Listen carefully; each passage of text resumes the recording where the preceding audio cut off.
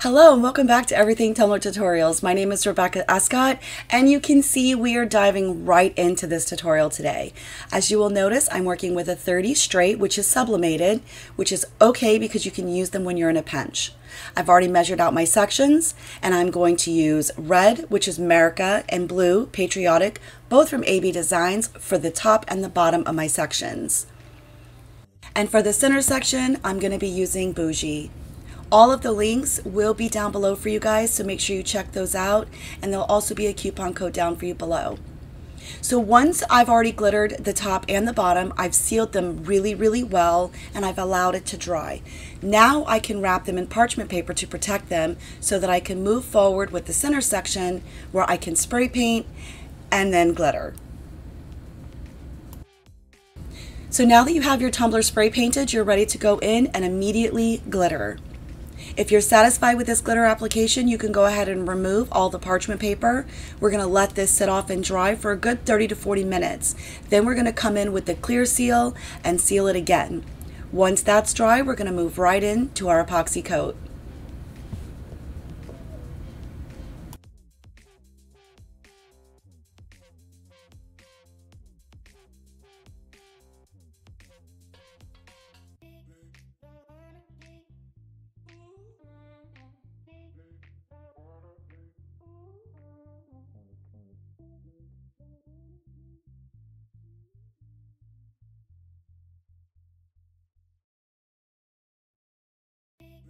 So once your tumbler is completely dry, it is now ready for its first coat of epoxy.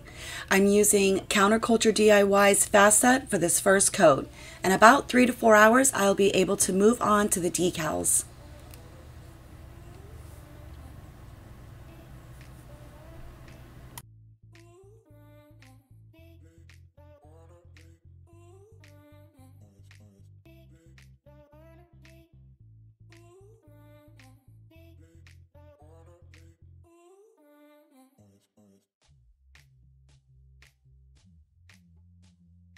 As with any coats of epoxy, make sure you use your heat torch to pop any bubbles that you may or may not be able to see.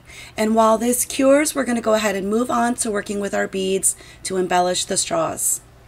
As you can see, I'm just using what I have, not buying anything special for these. So these smaller beads work really well for the stainless steel straw, and the slightly larger beads work perfectly for the plastic straws.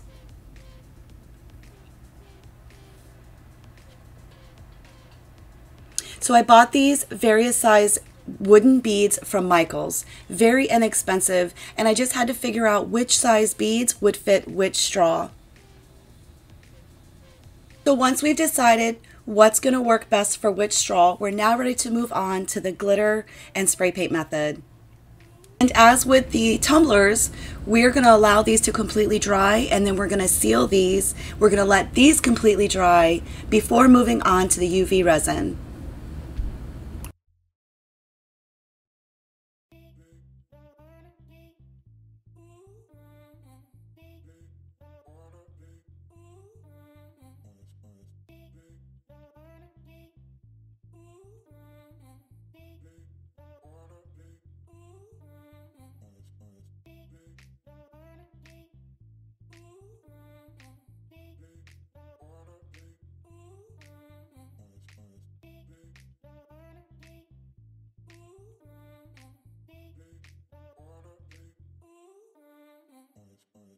So now we're ready to go ahead and move on to the UV. Now this is very, very thin, so I just like to pour it onto the bead and I'll use a little paintbrush to move it along.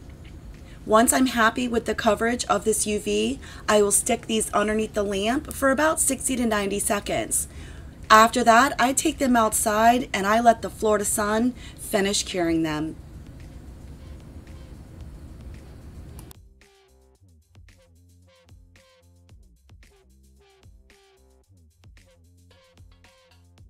So once they're ready, we're ready to apply them to the straw. And you will notice certain ones are slightly larger, like this blue one just kind of slips and slides. So we wouldn't want to put that one first. I kind of want to go with the red one. It does fit nice and tight. And then we're going to go with the white and then the blue. Once you have your beads placed onto your straw, if you decide to, you can make these a permanent fixture to your straw and just use the UV resin. So once popping these off, you'll notice, I hope you can tell even though it's slightly blurry, there's a little bit of a lip from where the, the epoxy and the glitter kind of gathered. But not to worry because we're going to use the X-Acto knife very, very carefully and clean up this edge. Now you will see later in the video that I did decide to go ahead and print out some beautiful little tiny letters that says USA and applied them to the beads and then I just re-epoxied them.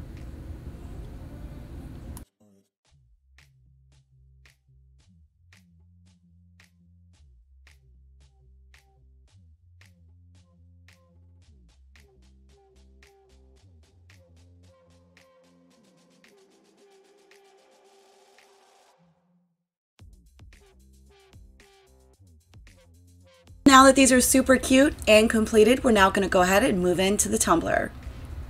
As you can see, as always, I've already gotten started with the first vinyl strip, and now we're going to do the second one together. Any solid vinyls you guys can pick up from Michaels or even Walmart, or there's places that you can order these solids online.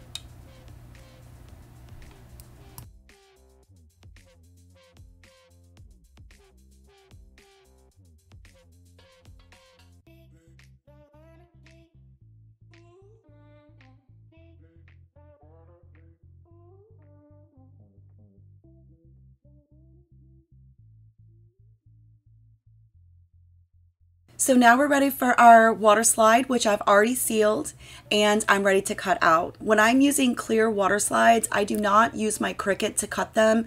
I just cut as close to the image as possible. Once it's completely cut, we're going to just put it face down in room temperature water. You'll know when it's ready when it starts sliding off the backing. Once I have it cut, I always like to just kind of lay it on my tumbler just to make sure everything's going to line up right and it's not too big or too small for this section in which I want to apply it. So once I'm happy with that, we're ready to move on.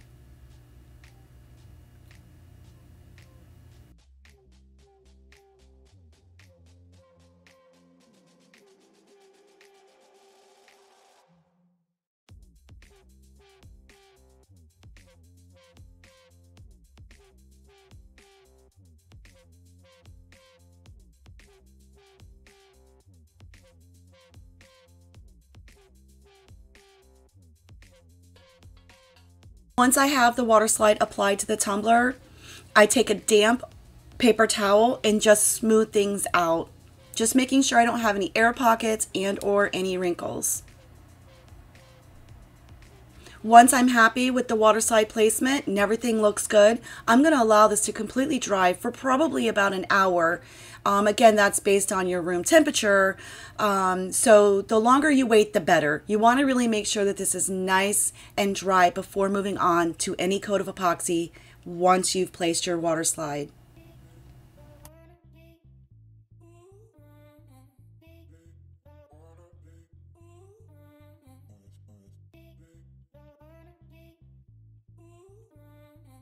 So we're now ready for a second coat of epoxy. I am going to be using Fast Set from Counterculture DIY for tutorial purposes. Once this is completely dry, my final coat is going to be the Artist Resin from Counterculture DIY, as Fast Set is not recommended for a final coat of epoxy. I want to apologize um, for sounding super raspy in the video today. Um, I'm not exactly sure what's going on, but I, I uh, do apologize for that. I want to thank you guys so much for watching this tutorial. I really hope that you enjoyed it. If you did, please give me a thumbs up and please subscribe to the channel for more tutorials coming soon. And don't forget to find us on Facebook at Everything Tumbler Tutorials. As with any coats of epoxy, make sure you use your heat torch to pop any bubbles that you may or may not be able to see.